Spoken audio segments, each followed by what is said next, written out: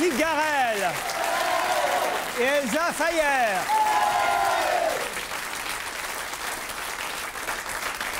Cher Perry, manifestement, vous étiez à deux sur le coup. Il y en a une qui en a pris un morceau et vous l'autre. Qu'est-ce qui s'est passé? Bah rien. Enfin, Comme d'hab. Comme d'habitude, regarde. Toujours nickel. Oui. Enfin.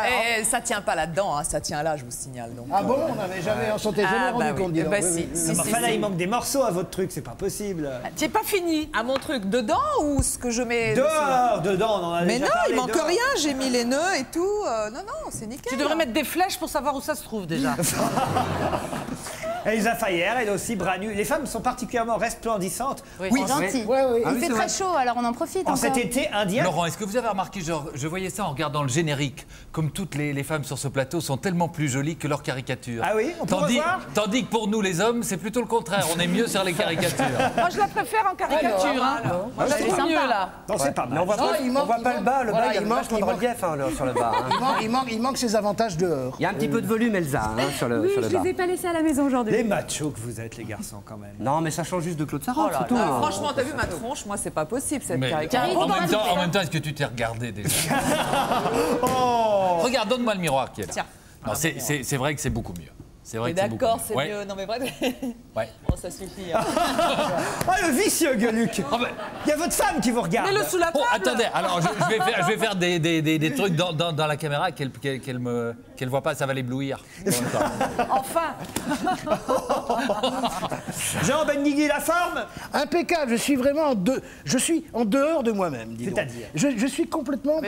D'abord, j'adore le vendredi parce que c'est la fin de la semaine. C'est le jour du poisson. C'est le jour du poisson. Je m'inquiète C'est le énormément. jour de Shabbat, le C'est le jour du macro surtout. C'est pas au morue de parler de ça, Marielle.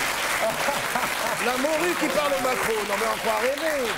Allez, il est temps de passer à la photo du jour. C'est celle de Bill Clinton qui nous montre que ça y est, il a enfin obtenu un nouveau rendez-vous avec Monica Lewinsky. Alors, ça, c'est pas macho, peut-être. là, il aurait quand même pu la placer à un autre endroit. Franchement, regardez, hein Toujours au même endroit, c'est fou. En fait, pour vous expliquer cette photo, parue cette semaine, c'est que l'ex-président des Sucessa publie en fait. Des Sucessa. Ben oui, on l'appelle comme ça. L'ex-président des États-Unis, si vous préférez, publie un livre de recettes. S'appelle le livre de recettes du centre présidentiel Clinton. Il a demandé à différents artistes de donner leurs recettes préférées et publie ça au profit d'une bibliothèque qu'il veut créer à Boston, euh, je crois. C'est ça Mais ils avaient chacun fait ça. Tous les présidents ont Ah eu oui leurs recettes, hein, oui, bien sûr. Président Nixon avait fait la- les crèmes brûlées au napalm. C'est- un truc. puis, euh, Ah bah lui, il a testé lui-même la dinde au marron, c'est sûr. et là, la dinde, la dinde est sur le bureau pour une fois. C'est curieux. mais- Mais enfin, elle est toujours farcie. hein. Quelle idée d'acheter un livre de recettes d'un président. Il a, débile. Il a jamais cuisiné. Débile. Non, c'est ça va, il débile. Il pompe tout en plus, c'est c'est cool. Il sort un livre avec les recettes des autres, c'est sympa quand même. Comme dit Arnaud c'est- il a tout pompé. Bien Et sûr. pour une fois que c'est lui, Je n'osais pas la faire. Allez, il est temps de passer à la revue de presse. Revue de presse des dessins humoristiques de la semaine et on commence par ce dessin de Lefred Touron dans le Canard enchaîné avec la fête de l'humain à l'épreuve des chiffres. Il y a un communiste qui dit cette année il y avait plus de merguez que de communistes. Ah, ça, c'est très méchant. Comment ça? Il y avait Gérard Miller et, euh, et José Bové. à- Ah, Ils eux sont pas vraiment Non, mais il y a communistes. toujours, même. non, là à- vous avez parlé des merguez, mais on parle des communistes. Oui, oui. Il y a toujours plus de merguez que de communistes, même à la grande époque du Parti communiste. Comme chaque communiste mangeait moins de deux ou trois merguez, il y avait toujours deux ou trois fois plus de merguez que de communistes. Et c'est un expert qui parle. Bien sûr. En merguez, je En parle. merguez et en communisme. Deux lignes dans la croix soulignent la réussite médiatique de la manifestation de José Bové à Cancon. Et on voit un type de l'OMC qui arrive devant le panneau Cancon et, et quelqu'un qui dit Faites fausse route, vous voulez aller à Cancun, au Mexique, il faut prendre la direction de Bergerac et c'est tout droit pendant 10 000 km. Dans le canard enchaîné, le Fred Touron rappelle que le gouvernement a enfin mis en place un gigantesque plan de mesures contre la canicule. Et on voit un type du gouvernement qui dit il n'y a plus qu'à espérer qu'il fasse très chaud l'été prochain. Sinon, ça serait. Faut que ça serve. Ah oui, sinon, ça serait de l'argent. Ça serait de l'argent dépensé pour rien. Dans le même canard enchaîné, Pétillon nous croque la belle équipe Raffarin-Chirac. La belle équipe, c'est très simple, dit Chirac. Je baisse les impôts, vous augmentez les taxes. On les a connus plus en forme, nos dessinateurs. Oui, mais là, c'est- c'est- c'est- c'est-à-dire, c'est même pas de l'humour, c'est la réalité, un décalage de la réalité, tout simplement. C'est vrai. Dans Charlie Hebdo, Honoré nous montre Le Pen qui cherche à imposer sa fille plutôt que Bruno Gollnisch. Et Honoré fait référence à une célèbre phrase de Le Pen. Cette fois, il dit Je préfère Marine à ma cousine, ma cousine à ma voisine, ma voisine à une anonyme, une anonyme à Gollnisch.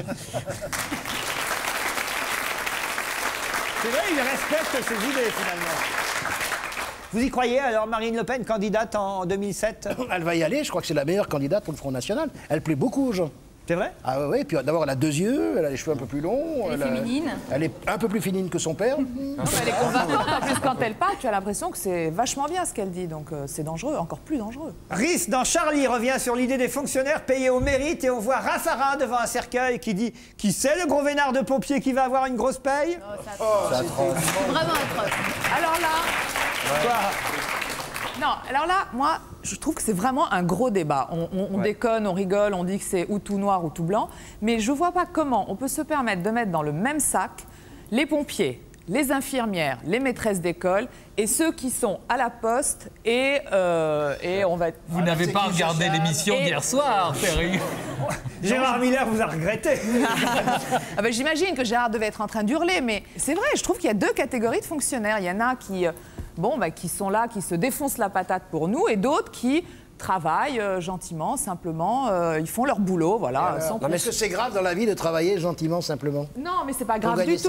Non, mais c'est gra- pas grave du tout. Mais simplement, si tu veux, je trouve qu'ils sont pas au feu au même titre qu'une Voilà. maîtresse d'école ou qu'un pompier. pompier. Non, mais moi, je, dirais, je dirais juste une chose. En plus, les pompiers, je crois qu'ils sont même pas classés dans les métiers à risque.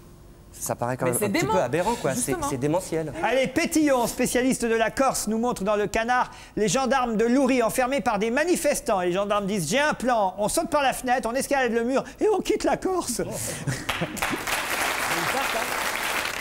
C'est vrai qu'en Corse, on a l'impression que tout se passe à l'envers. hein Mais les, les familles des, des- des- des gendarmes ont- sont déjà parties. hein. ah oui, les enfants surtout. Ah oui, les enfants d'abord, toujours. Les femmes, les enfants, après les gendarmes. Mais la gendarmerie restera ouverte, Monsieur Sarkozy en a décidé ainsi. Mais avec qui dedans? Mais en général, les prisons sont ouvertes aussi là-bas. hein. Allez, dans Marianne, le dessinateur. Je le refais. Dans Marianne, le dessinateur Tinius fait. Arrête, me fais pas rire, Philippe.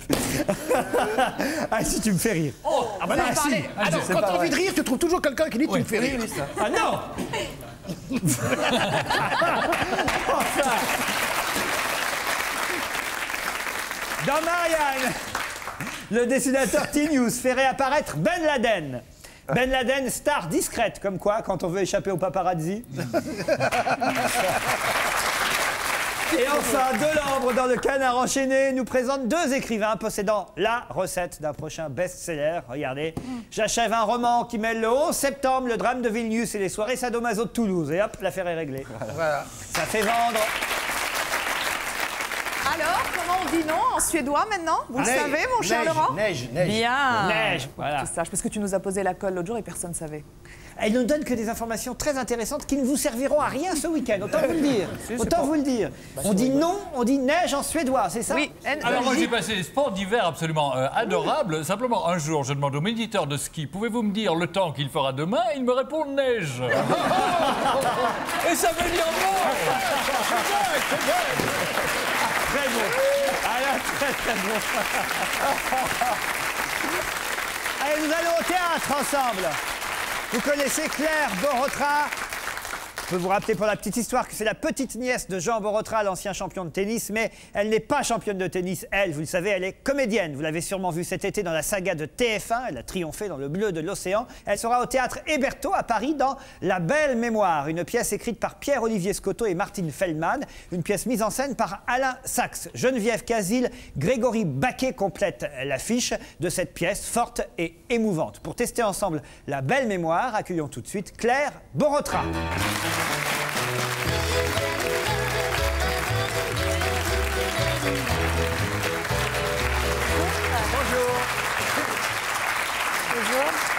Bienvenue dans la canicule de France 2. Ouais. Vous êtes charmante, vous avez jamais rencontré Ah, bah, c'est gentil, vous Ah aussi. ah non, mais vraiment, moi aussi, non. Répondez-lui Répondez-lui qu'il est pas mal non plus. Claire, Claire, Claire, faites très attention. allez. Ouais. Moi, je, je l'ai je l'ai regardé quand même cet été. euh, ah bah si, je vous ai regardé. Est-ce que vous avez regardé celui de la 2 J'en ai vu un peu, ouais. Ah, Et j'ai bien aimé. Ah, non, on en non, non, alors tout à l'heure, on en reparlera. Oh, ça a été un carton en tout cas. Ouais. Et quel effet ça fait? Est-ce que les gens cet été ont eu des réactions un peu différentes? À Biarritz, que vous fréquentez régulièrement, puis c'est votre ville Ouais, fétiche ouais, non, oui, oui, bah ça c'est sûr que là-bas maintenant tout le monde me connaît. Et Ah, puis... C'est pour ça que tu l'aimes bien. Pourquoi Ah, c'est agréable. Voilà. Ah, C'est vrai qu'en plus, elle, en plus, elle est bien rotée. Et j'adore Biarritz, je suis moi-même tu, et tu y vas souvent, quand même. Enfin, on s'est jamais croisé à. Biarritz. Eh ben, voilà. Pourtant, on aurait pu en ramassant les aurait boulettes. dû. Alors, on allez, revenons à l'actualité. Ce qui est important pour Claire Borotra en ce moment, c'est qu'elle est sur les planches aux côtés de Grégory Baquet et Geneviève Casil, grande comédienne de la comédie française, hein, quand même. Euh, J'imagine que c'était impressionnant pour vous d'être Ah ouais. euh, avec elle. C'est pas la première fois que vous montez sur scène. Ah non, non, quand même. Non, non, j'avais fait déjà, j'avais travaillé avec Planchon, Savary, Jean-Michel Ribes. Donc vous êtes quand même une, une- une- j'allais dire une routière, n'exagérons rien, mais une habituée des planches. Ouais, ça va. La pièce de Grimbert Ouais, que j'ai vue, vous étiez formidable. La belle mémoire, c'est à Héberto, très bon théâtre. Qui est allé voir la pièce Allez, tiens, je commence. Tiens, allez, Sophie Garel. Moi, j'y suis allée dans un état d'esprit un peu léger. Et dès le départ, cette pièce vous prend au trip parce que ce n'est pas du tout une comédie légère. C'est une comédie dramatique et qui aborde des sujets importants, essentiels. Il y en a même trop des sujets graves, des sujets, le sujet de la perte de mémoire, des choses que l'on veut oublier ou que l'on veut retrouver, les problèmes de l'artiste qui se perd et qui a tout investi dans son art et qui à un moment donné euh, n'est plus rien. Enfin, des sujets L'artiste, c'est la grande pianiste. C'est Geneviève Cazin. Geneviève Cazin. Et la petite Borotra, je l'avais jamais vue au théâtre. Elle a une énergie, elle est d'une- d'un dynamisme, elle est d'une force. Si elle n'avait pas été là, la pièce n'aurait pas été la même. Parce qu'elle apporte à cette pièce justement euh, de, de la vie, de la jeunesse, de la fraîcheur et de l'espoir. Et elle est absolument extraordinaire. Le petit Grégory Baquet, je lui ferais bien aussi ses samedis soirs. Il est absolument. Absolument Enfin, il pourrait être ton petit-fils. enfin. Mais enfin bon, c'est une pièce grave. C'est pas une pièce dont on sort euh, indemne. Mais bien. Très bien. Euh, Très grand bien. dialogue, belle musique, grands acteurs. Parfait. Les fauteuils, les fauteuils un peu justes, c'est tout. Mais Berthaud, Quand on a faut- des grandes gambettes, Ouais, un peu oui. juste. Elsa Fayer. Oui, alors moi, je, en toute honnêteté, je pense pas que j'y serais allée si vous m'aviez pas demandé d'y aller. Et j'ai été agréablement surprise. Bon, déjà, j'y suis allée un dimanche après-midi. Je sais pas si vous êtes déjà allé au théâtre un dimanche après-midi. On, on attend, on et attend, on attend d'être Ça dépend. Souvent, on fait des très bonnes représentations. Exactement. On fait des très bonnes représentations le dimanche après-midi. Souvent, on est, on est très angoissé parce que le dimanche après-midi, les Sauf quand il y a un arbre de. Noël. Sauf quand il y a un arbre de Et Noël. vraiment, c'est moins vrai depuis la rentrée. Ah oui, non. C'est vrai que le, le public s'est rajeuni, c'est ça que tu veux dire oui. Non, mais euh, souvent, il se passe, il se passe une chose formidable le dimanche après-midi et on joue pas mal. C'est vrai ou pas? C'est vrai que c'est souvent des moments assez magiques en fait. Et les alors, et Très alors longtemps, ça n'a pas duré très longtemps, je vous rassure. Et j'ai trouvé que c'était formidable et superbement interprété. Tous les trois, vous vous complétez à merveille. Euh, j'étais enchantée en sortant, vraiment. Bon, parfait. Mais, mais, mais. Mais quoi? Tu veux dire une petite saloperie? Ah non, non, non, non. Vous étiez en même temps qu'Elsa Bah oui, j'étais avec, euh, j'étais avec Sophie et Perry. Non, j'étais toute seule. hein. Ils m'ont larguée, personne m'a dit que j'allais aller dans la pièce. On veut pas se faire remarquer, donc ça va. Attends. Perry Cochin. Je crois que c'est la première fois que je verse une larme au théâtre. Bon, je verse des larmes facilement, c'est vrai au cinéma, mais au théâtre, c'est vraiment la première fois. Et j'ai trouvé ça très émouvant. Bon, je vous cache pas, j'ai trouvé quelques longueurs. Ouais. Mais c'est c'est pas grave parce que finalement, il y a, les sujets sont abordés d'une manière euh, assez euh, prenante, les uns après les autres. Et euh, il y en a peut-être trop. Euh, je trouve qu'il y a eu trop de sujets graves. On a envie d'approfondir un petit peu sur certains et s'attarder peut-être moins sur d'autres.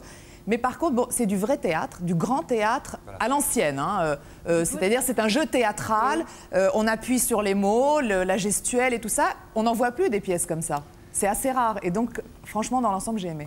Parfait, bah écoutez, voilà. Ça vous va Oui, on est ensemble.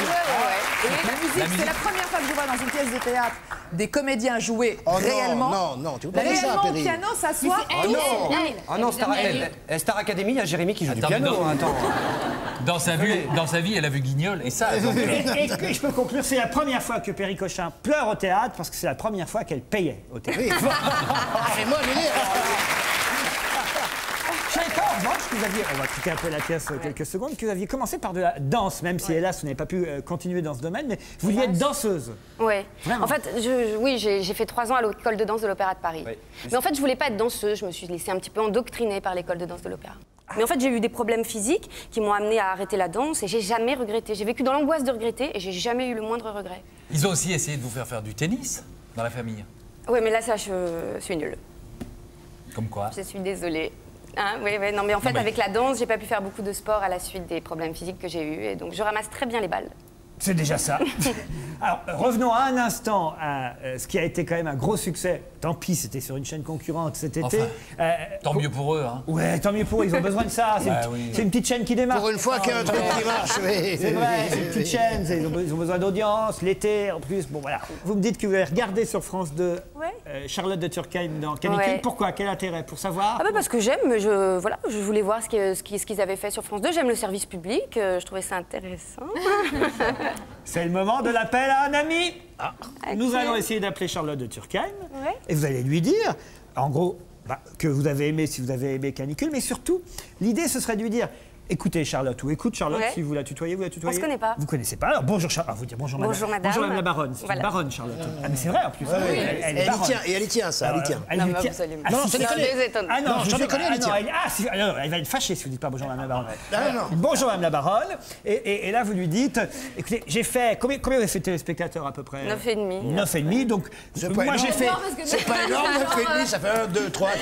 C'est rien. C'est rien. 9 millions et demi de 9 millions et téléspectateurs. Donc j'ai fait 9 millions et demi de téléspectateurs. Toi, attends, t'as dû en faire 10, hein, on va dire ça. hein Ouais, ouais, ouais. non? Oui, bah allez-y, j'attends la fin, moi. Si on faisait une série toutes les deux l'année prochaine, Ah. on ferait 19 millions de téléspectateurs. Avec Je suis la logique. Alors allons-y. hein. C'est le défi que vous avez pour l'appel à un Claire, on appelle la Charlotte. vrai. Non, avec madame la. Si c'est le répondeur, vous laissez un message, bien sûr. Allô, euh, oui, bonjour, vous êtes bien sur euh, la messagerie de Charlotte de Turckheim. Vous pouvez laisser un message après le bip sonore, je vous rappelle dès que possible. Voilà, merci, au revoir. Une fois l'enregistrement terminé, vous pouvez raccrocher. Donc bonjour euh, Madame la Baronne de la part de Laurent Ruquier. Je suis à ses côtés et il nous a donné une très bonne idée. Dites qui vous êtes, qui vous êtes. Je suis Claire Borotra. enfin, J'ai l'impression qu'à la télé ça passe, mais non, bien sûr, c'est un répondeur. Donc euh, voilà, comme le canicule a très bien marché cet été et que le Bleu de l'Océan a très bien marché aussi, on se disait que si on faisait une saga toutes les deux, on pourrait peut-être arriver à réunir 20 millions de personnes devant leur poste de télévision. C'est une idée peut-être envisageable. On peut peut-être se rappeler Ben voilà, parfait. Vous embrassez la baronne. On vous remercie Claire Borotra à l'affiche du théâtre Héberto en ce moment. Pour la belle mémoire avec Geneviève Casil et Grégory Baquet.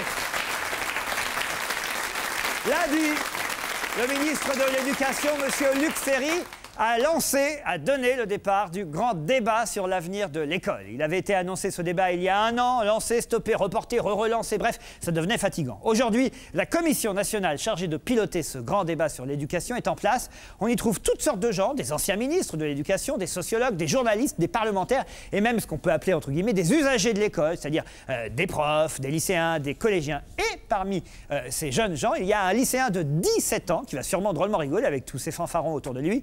Nous allons le tester ensemble à propos de cette enquête sur l'école. Voici le lycéen qui a été choisi par cette commission pour débattre de l'avenir de l'école. Voici Mathieu Vallée.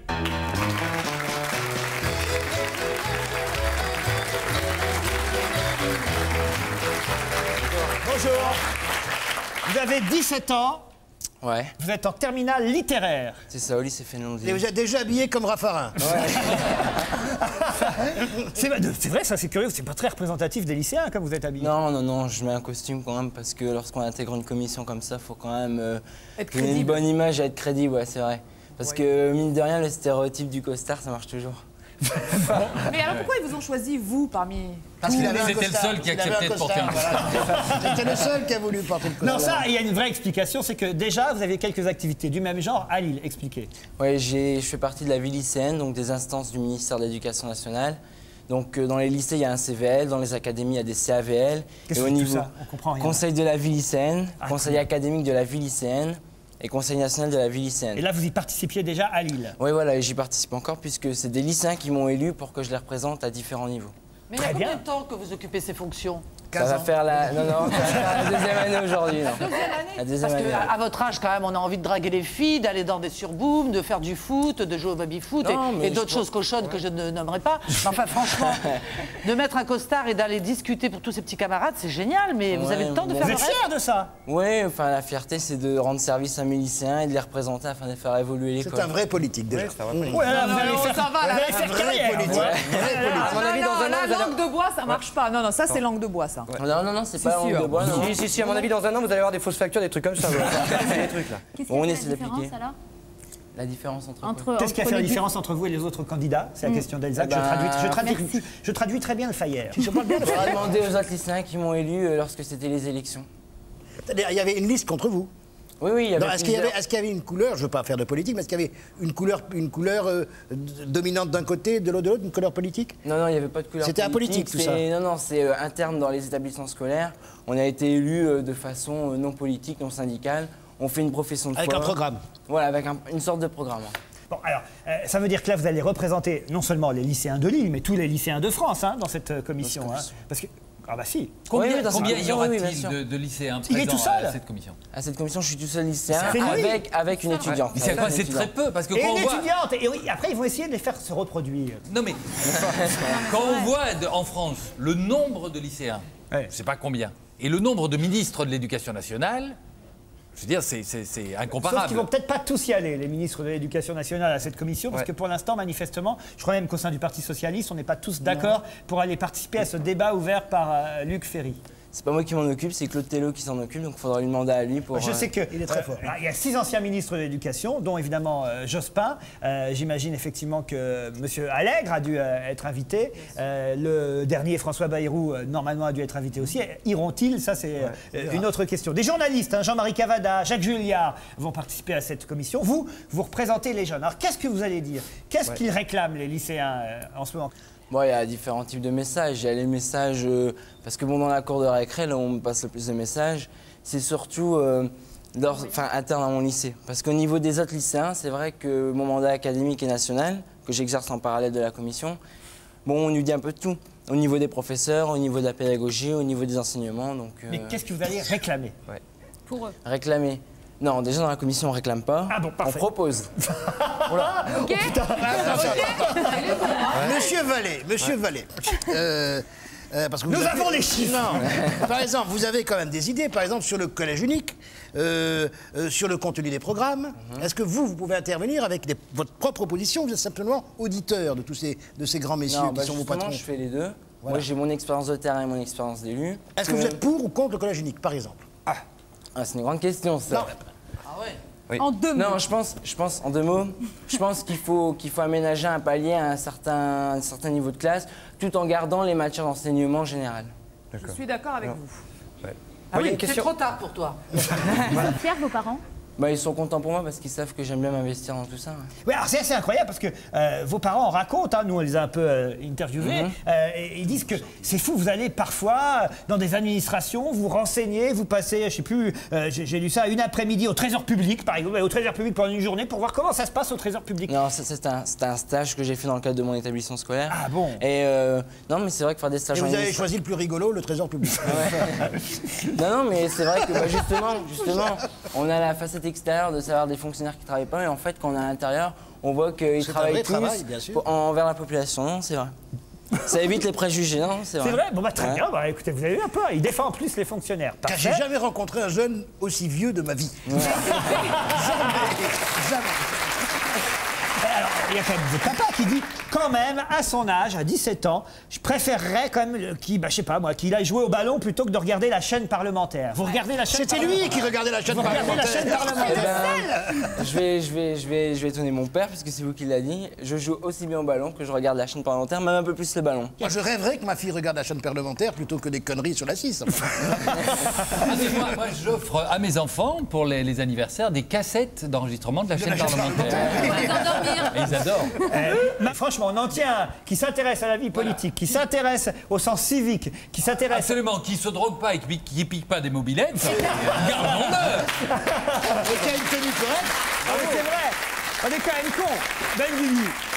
Non, bien sûr. Non, parce que c'est un paradoxe. Vous êtes là Mais à je longueur suis entièrement Vous êtes à longueur d'année à râler, à dire Oh, les jeunes, ils s'intéressent plus à rien, à la Starac tout je ça. suis ravi On en tient qui s'intéressent et vous dites Ah, là, il n'est pas assez jeune. Alors, faudrait savoir. pas ça, enfin, bon, je suis dans des contradictions. dit, Je- voilà, ben, je l'ai dit pour faire une vanne, nous sommes une émission de divertissement. Et la cigarette, euh, enfin le, tabac dans les écoles, vous êtes pour moi, ou moi, contre je, moi je fume pas, mais ça me dérange pas qu'il y ait d'autres personnes qui fument parce que on veut respecter la liberté de nos fumeurs, mais il faut respecter aussi celle des fumeurs. Donc, euh, Bravo. personnellement. J'ai euh, jamais vu un jeune pas, aussi moi. jeune que toi. Là,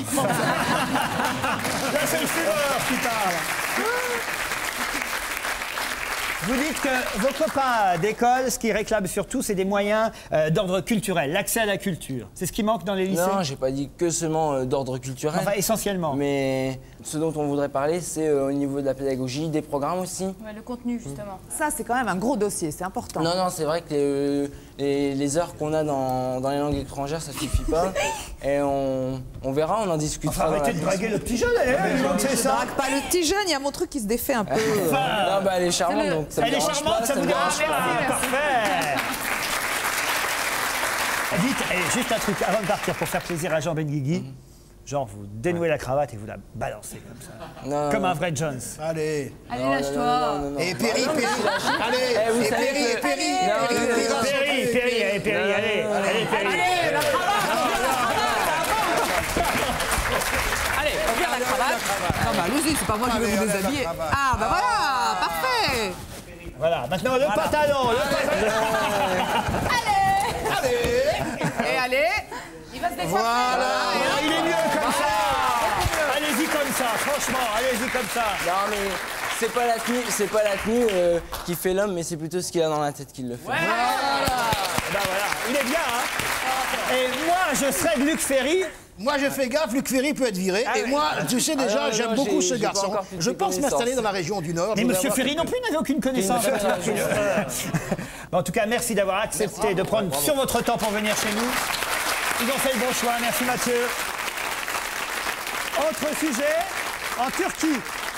Oui, en Turquie, un guide du bon chauffeur de taxi vient d'être édité. Et dedans, on y trouve toutes les qualités que devrait avoir un chauffeur pour être le taxi idéal. Par exemple, il faudrait que ce chauffeur sache parler une langue étrangère, qu'il n'impose pas sa musique à bord, qu'il connaisse les premiers gestes de secours, ou encore qu'il évite de se perdre toutes les deux rues. Ça, ça me paraît assez évident. En fait, c'est la règle des trois P qu'il faudrait appliquer poli, polyglotte et polyvalent. Et non pas comme parfois c'est le cas, pas toujours, mais parfois puant, pas prudent et particulièrement lourd.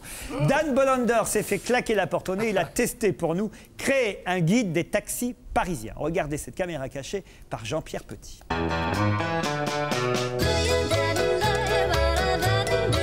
Bonjour, ici Dan Bolander. J'ai testé, créé le guide des meilleurs taxis parisiens. Pardon, monsieur, vous pouvez m'amener à Stockholm, en Suède? Oui, oui, bien sûr. Ok, merci. Bonjour, monsieur. Porte de Vincennes, s'il vous plaît.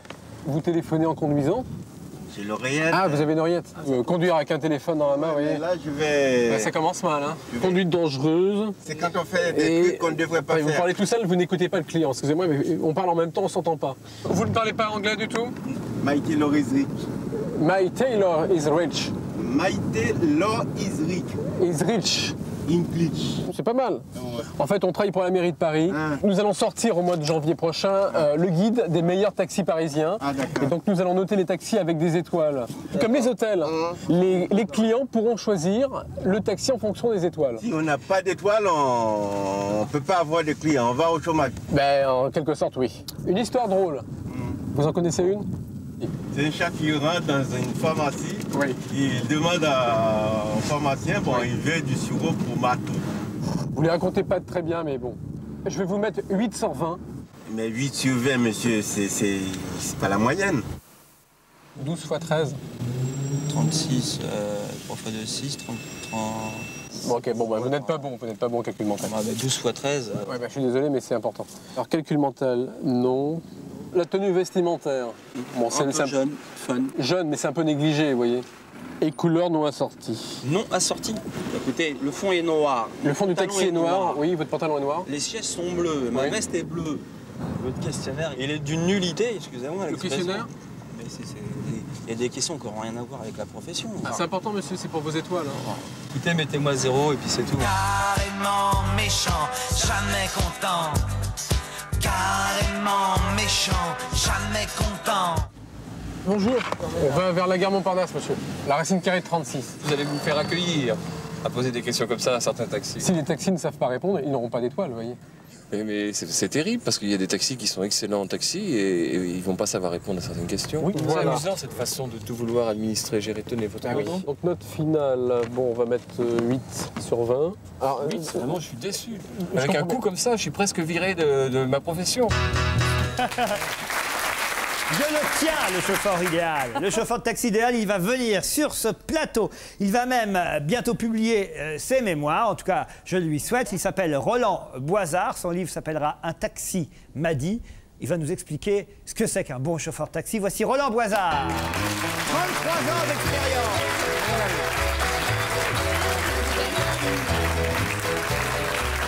Bonjour.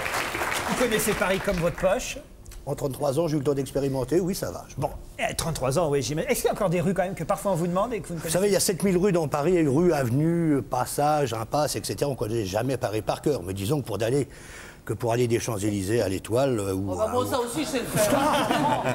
L'autre jour, je l'ai même fait à pied, moi. C'est vrai dire, ouais. Vous prenez comme ça et puis c'est. J'ai Eh, failli vous prendre en charge à la gare du Nord il y a quelques temps, mais vous étiez devant et puis c'était pas, ça n'a pas été mon tour. J'ai regretté, car vous auriez été un bon client. C'est pas vous à la gare du Nord? Ah si, c'est pas- enfin pas tous les jours, mais. Oui, mais, vous euh, prenez le train, vous arrivez à la gare du Nord. Oui, et à deux clients Il y a près, j'ai failli vous il y a prendre femme qui regarde, c'est normalement, il descend à. Saint-Lazare. Bah, je vous ai confondu avec Michel Fugain. oui. Pas mal, il s'en tire bien. Ah, très bien, parfait. Vous, alors justement, vous repérez le bon ou du mauvais client?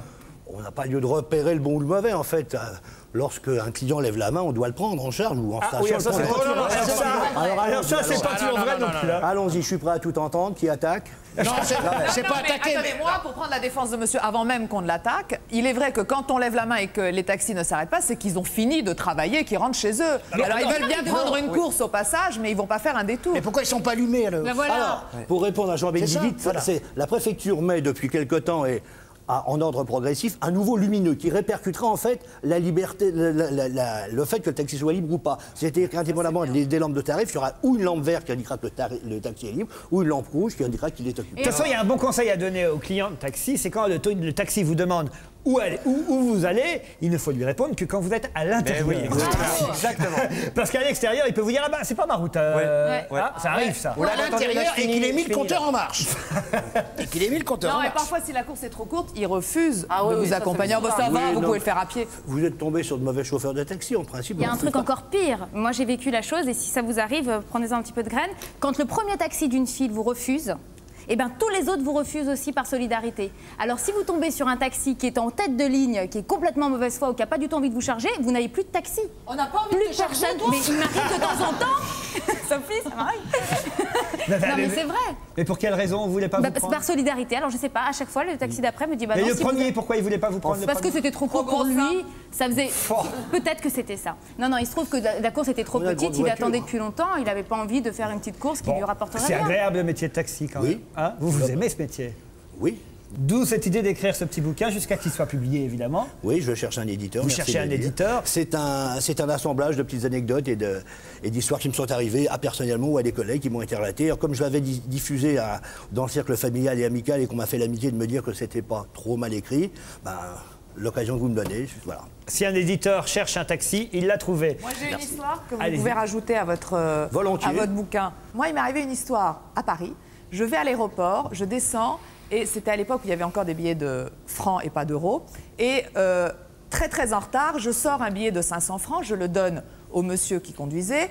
Et dans la foulée, le type me donne une fiche et je prends mes affaires et je pars en courant. 500 francs, vous aviez de la monnaie sur vous donc. Oui, Je ne l'avais pas donné. On a toujours un peu de On a toujours un peu. Les, les- les- Ça, ça m'aurait étonné que ça ne soit pas relevé. Bon, les- les lingots étaient dans le coffre, vous comprenez Et donc, les 500 francs, et, je, je- et arrivé dans l'aéroport, je me rends compte, je dis merde, j'ai pas pris ma monnaie. Bon, le monsieur m'avait euh, donc donné une fiche et tout ça, et j'avais son numéro de taxi, enfin son- sa plaque d'immatriculation. J'ai Le contacté. service des taxis rue des Morillons. Exactement. Ils n'ont pas voulu me donner les coordonnées du monsieur, mais par contre, ils m'ont dit écrivez une lettre, on transmettra. Dix jours après, on a sonné à ma porte et le monsieur m'a ramené la monnaie. Je Qu'est-ce que t'es rat quand même? T'es vraiment Attends, j'ai trouvé ça Mais incroyable. attendez, je trouve que c'est une histoire C'est une histoire magnifique qui redore notre Mais voilà. blason d'une façon extraordinaire. attends, Mais c'est merci, énorme. mais Vive le taxi Vive Mais la oui. France vive Thierry il y a Des belles histoires. C'est une histoire qu'un jour qu'avait raconté Pierre Palmade qui est, qui est vraiment super drôle. Et Pierre, un jour, Pierre Palmade monte dans un taxi. Et le taxi lui dit à peine bonjour, il dit bonjour. Et le taxi conduit comme ça, puis il n'arrête pas de regarder dans le, dans le- dans le rétroviseur euh, Pierre Palmade. Alors Pierre, il, il regarde un peu comme ça. Puis le mec continue toujours de le regarder, ils conduisent. Et à la fin, juste avant de le déposer, il dit Alors, ça fait quoi de pas être reconnu? Ça, c'est drôle. Ça, c'est super drôle. Qui vous avez eu de célèbre, vous, dans votre taxi? Beaucoup de gens, enfin, pas, pas ça va de, de Serge Lama, enfin, le- le- les noms ne sont pas. J'ai- Je pratique pas tellement le culte de la personnalité. Ah Je bah. J'ai Ouais. certains de mes collègues qui ont un livre d'or qui manque pas de. Pas vous. non, non, non, Ah, parce ça, que- ça arrive souvent qu'on nous Ouais, ouais, ouais, ouais, oui. Moi, je dis, bah, gardez le chèque. Ce qui est vrai en tout cas, c'est que souvent il y a des chauffeurs qui balancent parce qu'ils savent qu'on est- ils re- vous reconnaissent. Ils disent ah, ah oui, vous êtes copain avec un tel? Alors tu dis vous, tel, tel acteur ou tel chanteur dit oui. Bah, celui-là alors. Et là ça commence à balancer. Et ça c'est très marrant Ouais, ça parce va, que ouais. ça, ça, ça y va. hein. Et lui il est vraiment con Non, je sais pas qu'il est con, mais parce qu'il a l'air con. hein. Et hop, et ça part. Philippe Gueluc, anecdote? Euh, oui, un jour, je, je devais quitter la rue Madame, dans le 6e arrondissement à Paris, pour me rendre à la rue Monsieur, euh, dans le 7e. Et voilà, et c'était un chauffeur asiatique qui dépassait à peine du, du- du truc. Alors on, rentre dans le taxi, et on lui avait, euh, on l'avait appelé à l'hôtel, rue Madame, et on lui dit voilà, conduisez-nous tel numéro, rue Monsieur. Et le type, quand. Je viens vous chercher, Madame, pour aller Monsieur. C'est une plaisanterie. Et non, nous avons confirmé que c'était exact. C'est une anecdote, si vous voulez, qui n'est pas, qui n'est pas non plus. Qui n'a pas non plus. Vraiment. La mettez pas, celle-là. Revenons un peu à l'info de départ, parce que si on vous a invité, c'est à cause de ce guide que veut publier euh, la Turquie, un guide. Alors ça se passe là-bas, mais on se dit, est-ce que ça pourrait euh, arriver chez nous, un code de chauffeur euh, idéal? Alors, euh, le profil idéal du bon chauffeur de taxi turc, c'est d'abord qu'il doit savoir parler plusieurs langues. Vous, est-ce que vous savez parler plusieurs langues? Disons que je, avec l'habitude, je, je, je baragouine l'anglais de façon à me tirer des situations difficiles. in English? Yes, a little bit. Non, mais vraiment little, pour ça, les ça Turcs c'est normal. Et déjà ils parlent turc. Oui. Ah, ça Oui. fait une langue étrangère Alors, déjà. Oui. Pour Non, non. rebondir sur ce que vient de dire Jean Benguigui, il faut quand même savoir que 67% des chauffeurs de taxi qui exercent, je parle de Paris, ce que- de ce que je connais bien, sont d'origine étrangère. 67%, plus des deux tiers. Ce qui veut dire qu'il est naturel qu'en général, les chauffeurs de taxi pratiquent, pratiquent euh, facilement deux langues. Moi, ce que je comprends pas, c'est pourquoi on est une des rares grandes capitales du monde où les taxis n'ont pas une couleur, ne sont pas reconnaissables de loin. Bah, pour des raisons Pourquoi on n'a pas une peinture jaune et noire ou rouge Pour des Je raisons essentiellement techniques, c'est que... Si cette nuit, on allait tous les repeindre. Ça serait génial. J'adorerais faire ça. Euh, la moitié des taxis parisiens sont des voitures qui appartiennent à des propriétaires et qui veulent, lorsqu'ils sortent le dimanche et qu'ils enlèvent leur lumineux, leur rodateur, veulent pas être identifiés comme des taxis pour les Évidemment, raisons. Voilà, c'est ça tout paraît logique. On va vous remercier Roland Boisard, c'était bien sympathique, vous avez bien défendu les taxis. Et on rappelle que vous cherchez un éditeur pour vos souvenirs, un taxi m'a dit merci. Au. Musique si vous aimez Claude François, vous pourrez aller à l'Olympia à partir du 24 novembre. Non, Clo-Clo n'est pas ressuscité. Par contre, 23 de ses meilleures chansons seront revisitées dans le cadre d'un nouveau spectacle musical intitulé Belle, Belle, Belle. Daniel Moine et Jean-Pierre Bourtraire ont écrit cette comédie musicale qui raconte l'histoire de trois jeunes filles qui tentent de gagner un grand concours de chansons. Parmi les interprètes, on compte une ancienne de la Starac, Aurélie Konaté, et vu la une de gala cette semaine, on se doute bien que sa chanson préférée à elle, c'est plutôt Alexandrie Alexandro. Pour tester ensemble Belle, Belle, Belle, accueillons les trois jeunes filles de la comédie musicale. Voici Joy, Lisa et Aurélie.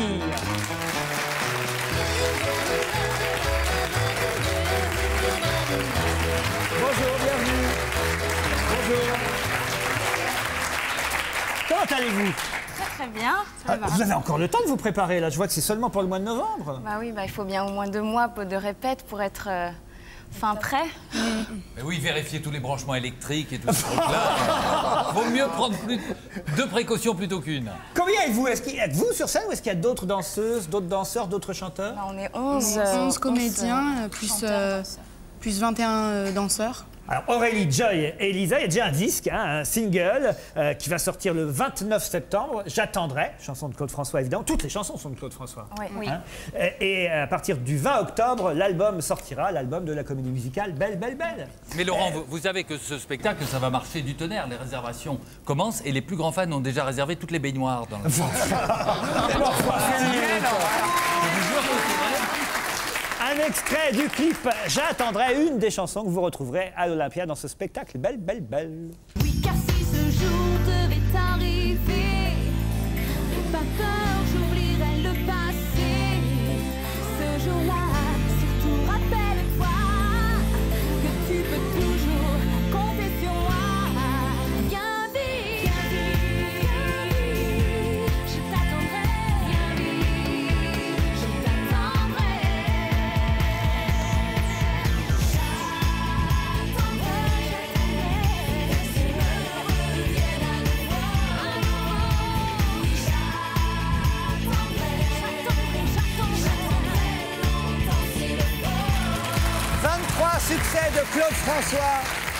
Repris par les filles, alors on vous appelle les filles Bah oui. Ils n'ont pas trouvé un nom, hein, c'est pas facile. Non, parce que c'est vrai que dans la pièce, en fait, on, On nous appelle on nous appelle comme ça. Ah, Donc, euh, vous êtes les c'est filles. c'est vraiment, il y a, ouais. ouais. Trois filles qui participent à un concours. Est-ce que les spectateurs pourront voter dans la salle Pour choisir le 1, le 2 ou le 3 Non, mais en revanche, bon, alors vous, on sait que vous avez été repéré grâce à, la Starac, Aurélie, mais euh, Lisa et Joy, vous avez fait un casting pour participer à cette comédie Mais musicale. j'ai fait le casting. Quand oui, ouais, ouais, non, mais je tiens à le dire parce que c'est vrai qu'étant donné que c'est la même production, euh, tout le monde avait tendance à dire que euh, j'étais, voilà, qu'on m'a mise là et enfin, vous aviez déjà fait un casting en quelque sorte quand même. Oui, mais c'est vrai que je me suis, je me suis vraiment battue pour avoir le rôle parce que Vous avez fait deux castings, vous, alors, Ouais. en fait. On savait pas comment on allait me récupérer à la fin de la tournée Star Academy. Euh, Est-ce que je peux poser une petite question Oui, à Aurélie très vite, alors. Est-ce que, est-ce que avec Alexandre, c'est j'attendrai ou c'est pour tout de suite Je ne vais pas me marier si vous voulez tout savoir. Ah, Alors, Alors. Ah, c'est vrai, vous faites la une de ga- eh, une Il est beau gala. mec, hein, il est beau mec. Oui, hein. mais je ne vais pas me marier. C'est un peu énervant d'ailleurs de redécouvrir une une comme ça. Oh, il est oh, mignon, oh, il est mignon. remontrez. Ils sont beaux, hein. Ah, Ouais. et il s'appelle mon chouchou. Vous ça, mariez pas, oui. mais en tout cas, faites des enfants, parce que là, franchement, ah On non. va attendre un petit peu aussi. Un petit peu aussi Ouais, ouais, ouais. Voilà, il y a de l'eau dans le gaz. non, La une de gala la semaine prochaine. Alexandre et Aurélie, c'est fini. Faut vous méfier de ce que vous non, dites. non, on savez. va pas exagérer. Non, non, mais bon, il faut, il faut relativiser. Voilà, c'est un magazine. Il faut euh, patienter, voilà. Et voilà les trois filles qui donc euh, joueront belle, belle, belle à l'Olympia à partir de novembre. Sophie Bah, avouez là qu'on comprend vraiment quelque chose qui est obligé de marcher parce que Claude François, effectivement, c'est toujours d'actualité. Donc on, va vraiment dans On le vent quand même. hein. C'est sûr. Sur, euh, sur Tino Rossi, euh, on n'aurait peut-être pas fait le même tabac. Pas sûr, Enfin, c'est pas sûr. Vous avez failli être Claudette, Ouais, vous, Sophie. hein Oui, j'ai failli être Claudette et j'ai été marron. Elsa, Est-ce ça qu'il vous y a des intéresse? garçons? Oh oui, est-ce qu'il y a des garçons quand même? Oui, oui, oui, il y a beaucoup de garçons. Il y a Il y a- important. ben, en 6 fait, garçons et 5 filles. Il n'y a pas de Claude François, il n'y a pas de double, il n'y a pas de n'y pas- il y a Claude, rien sur cette époque. Non, qu'en fait, euh, non. Mais non, Sophie, il est mort. Non, mais c'est ça. Il faut quand même bien préciser que c'est pas Voilà. une comédie musicale qui retrace la vie de Claude Non, François. pas Pas du tout. On utilise ces chansons parce que c'est un concours de euh, jeunes filles qui veulent euh, devenir euh, chanteuses, interprètes, danseuses. Et on leur fait faire un concours en interprétant des Chansons. ces chansons illustrent, ces chansons illustrent. c'est euh, C'est la vie, c'est la vie j'imagine, des bien chansons sûr. théâtrales en fait. C'est une histoire inventée avec des, des chansons déjà connues. C'est une très bonne idée. bien compris. On a bien compris. C'est une très bonne idée. Et puis en plus, Claude François, il, il aurait été ravi de vous voir parce que c'est un type qui adorait les jeunes filles et qui adorait les belles jeunes filles. Et je suis sûr que là-bas, dans, son, dans sa petite tombe, il doit être ravi. Et à mon avis, il est encore plus raide que d'habitude. Allez, on va jouer tous ensemble, on va voir hein, euh, qui connaît les chansons? Alors, Allez, si, on va lui courir en fait, vous êtes joker. Si mes, mes copains ne savent pas, c'est vous qui Ah, donc intervenez. on ne souffle pas. D'accord? Alors, alors, j'y pense et puis j'oublie. alors. J'y pense et puis j'oublie. J'y pense surtout quand je suis seul la nuit. Parfait, c'est ça? Ouais, C'est ouais, ça. exactement Impeccable. Ben, alors, attendez. À part, hein, Elsa, je vais dans l'ordre. hein. Belle, belle, belle. Belle, belle, belle comme le jour. Parfait. Ben Guigui. Ça tombe sur vous, le mal aimé. je la connais pas. Oh. Je la connais pas. non, vous demandez Joker, Joker. Joker. Je suis le mal aimé, je suis le mal aimé. Les gens me connaissent tel que je veux me montrer. Mais ont-ils cherché à savoir d'où me viennent mes joies? Et pourquoi ce désespoir caché au fond de moi? C'est mieux le Joker. Thierry, viens à la maison. Viens, viens. À la maison, il y a le printemps. qui chante. Bien, bien, parfait. Mais non, parce qu'elle fait, elle fait à la fois Claude François et les Claudettes. Vous m'arrêtez pas, Gueuluc, vous avez Je vais à Rio. Je vais à Rio. Joker. N'oublie C'est pas ça non plus. là-haut. Joker Joker Ah oui, Joker. Je m'envole au paradis, je vais à Rio de Janeiro. Je prends ta main et nos cœurs sont plus de nuit que tous les symboles du carnaval. Sophie, alors là, toi et le soleil. Toi et le soleil. Il y a un indice, c'est une reprise. C'est une reprise de Jimmy Cliff en fait. Ah, si c'est Jimmy Cliff, alors Rien ne m'échappe. Pas Joker, Joker. Alors, toi et le soleil. Je ne vois plus que toi, toi, toi, toi et le soleil. Je ne vois plus que toi, toi, toi, toi et le soleil. Quelle belle voix, hein formidable, bravo. Le lundi au soleil, Elsa. Lundi au soleil, c'est une scène qu'on n'aura jamais. Chaque fois c'est pareil. Hein? Magnolia Forever. Un jour, mon père me dit Fiston, je te vois sortir le soir. Il est des choses qu'à ton âge, un garçon Belle, doit savoir. C'est belle, belle, belle, ça. Ah. Joker. Joker, Magnolia Forever. Young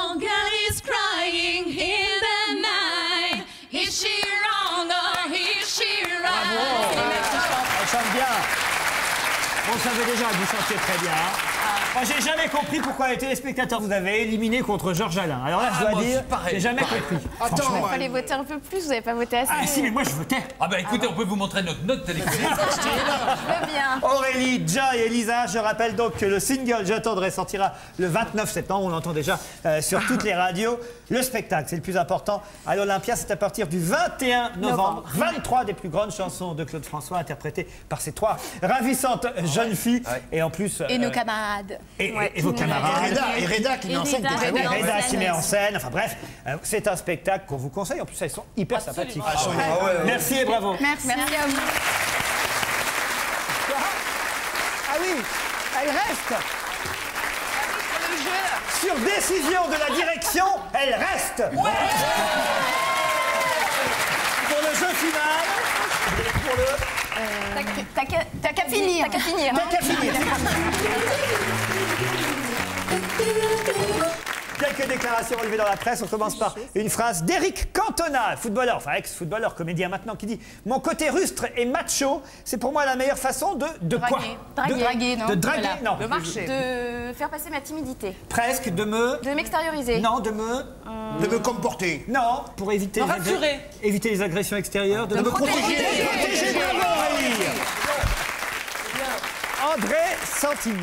Ah, c'est un tac à finir un peu spécial. C'est un tac à compléter, là, plutôt. D'accord. Pendant que le gouvernement 1-1, Juppé 1-1, Douste Blasi 1-1 et Godin 1-1. Pendant que le gouvernement vasouille, Juppé se dépatouille. Douste Blasi se gratte les.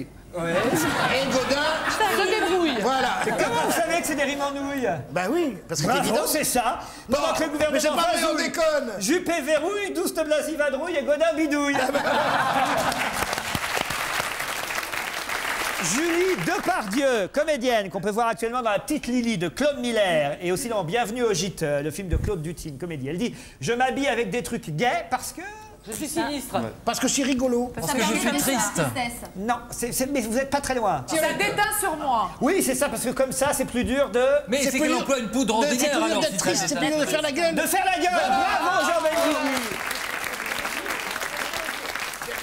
Les trois filles donc dans Belle Belle Belle à l'Olympia à partir du 21 novembre. Des rendez-vous importants pour ce week-end avant de vous dire au revoir. Demain évidemment Christine Bravo à partir de 18h55 pour son émission, sa nouvelle émission C'est pour de vrai.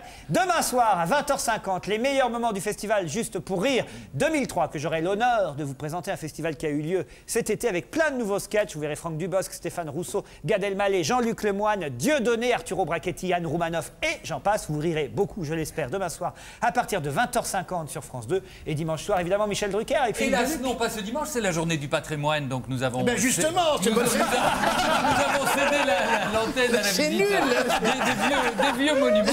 Hélas, dimanche, dimanche prochain, dimanche prochain, nous fêterons la 200e de Vivement Dimanche. Parfait. Eh ben, Alors, quant à moi, je vous dis à demain soir 20h50. Bye bye